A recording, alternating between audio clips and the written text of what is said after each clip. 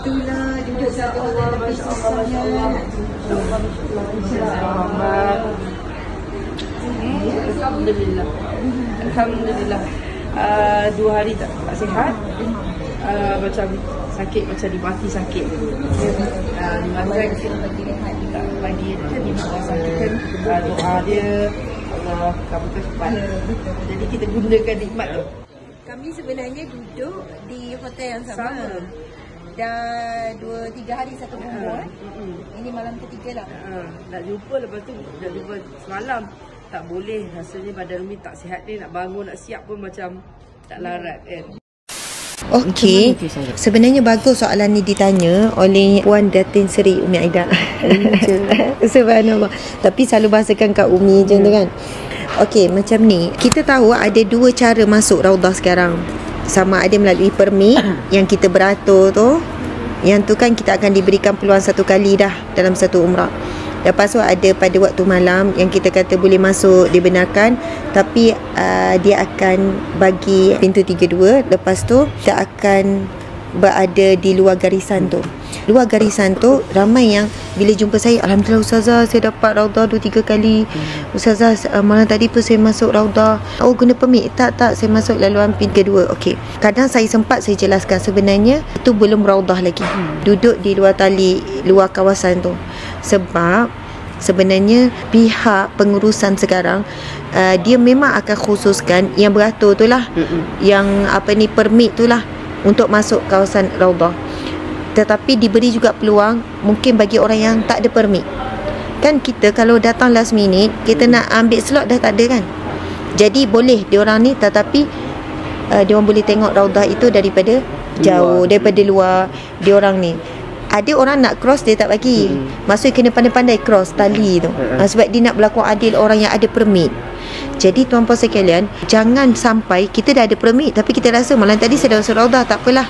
Tak pergi. Jadi yang permit tu Usahakan juga macam mana pun. Raudah ini disebut dalam hadis Nabi Antara mimbarku Dengan uh, rumahku. Antara mimbarku dengan rumahku. Rumahku makam Nabi sekarang lah. Adanya Raudah. Taman daripada taman syurga Allah yang mana sebagian ulama menyebutkan taman ini akan dipindahkan Allah ke syurga. Uh, sebahagian lagi mengatakan siapa yang beribadah di raudah maka dia akan dapat masuk syurga.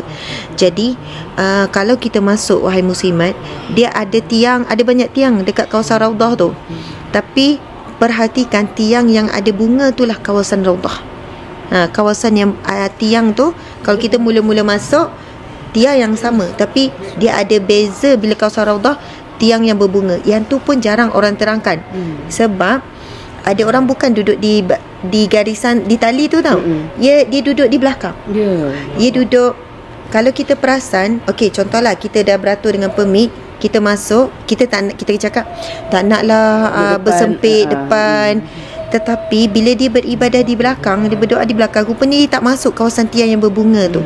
Kawasan yang betul-betul raudah jadi berusahalah untuk menyelit masuk juga ha, sebab itu ada orang duduk belakang tu nampak lengang. Sebab kebanyakannya orang tahu bahawa tiang yang berbunga itulah wilayahnya raudah jadi berusaha kalau masuk melalui pintu 32 sekalipun dia tali uh, berusaha masuk.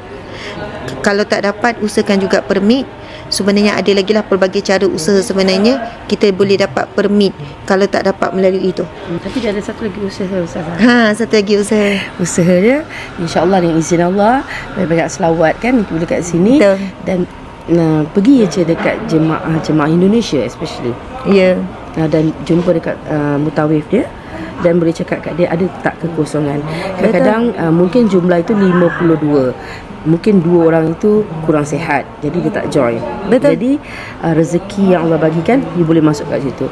Uh, dan uh, situ you dapat terus betul setuju Uh, kena, tapi kena usaha kena, Kena usaha, dan kena rajin lah rajin dan sekiranya you pergi dan tak ada Ya. jangan disappointed ya uh, kena Usaha lagi. uh, kena usaha lagi Subhanallah masa tu baik degana saya tengok fly apa jadi masa tu semua bukan Islam Tapi saya takut saya terlepas. So saya pesan pada pramugara tu, pramugara dengan pramugari yang bukan Islam ni, nanti kalau waktu dah nak masuk, maksudnya pada malam kita cakap pada dia macam tu lah.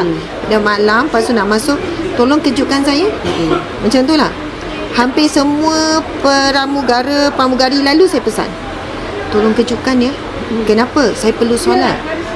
Lepas tu hampir yang lalu ada empat orang lima orang kot saya pesan. Akhirnya yang kejutkan saya adalah seorang pramugara lelaki. Tapi suami saya ada sebelah. Maksudnya dia datang uh, dia datang puan uh, saya datang kejutkan puan seperti puan nak tadi. Puan perlu semayang kan? Maksudnya dia tak sebut solat lah. Puan perlu pray to God kan? Thank you, thank you. Maksudnya orang bukan Islam pun Allah boleh uh, permudahkan kita gerakkan hati kita untuk untuk kita kita menunaikan kewajipan. Jadi apa yang puan Irma dan Emma sebutkan pasal solat kaitan dengan umrah tu sangat berkaitan. Eh, boleh. bolehlah Boleh adik-beradik Datuk. Emma muka sama kan? sama comel. Jadi tuan-puan sekalian, uh, saya percaya seseorang yang sangat nak menjaga solat Allah akan mudahkan Allah akan buka jalan dan sekiranya ada situasi yang berlaku kita tak solat tanya sendiri pada hati kita sebenarnya kemungkinan besar kita tak benar-benar nak solat. Sebab mustahil Allah tak nak tolong kita. Allah tak nak bantu kita. Masya Allah terima kasih Ustazah. Terima kasih. Terima kasih atas ilmu yang berkongsi. Datin Seri Paduka Umi Aida. Dan Ananda Ain. Dan Adida Aisyah. Dan semua yang menonton semoga mendapat manfaat. Assalamualaikum warahmatullahi wabarakatuh. Ya insyaAllah. Okay bye bye semua